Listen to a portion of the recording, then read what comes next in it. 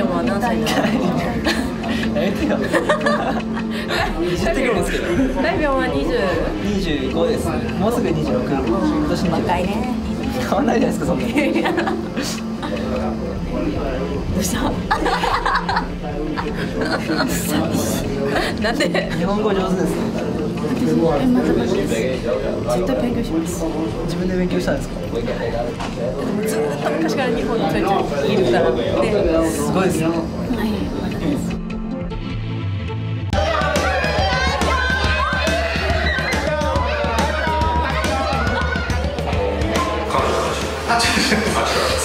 彼女じゃないですからね。なんか否定したいんですけどねあれ本当に彼女じゃないんですよ。全然。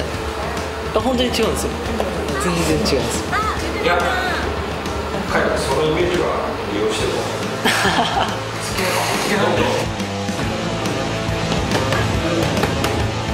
なんで出るのみたいな感じでは言ってましたねみんな。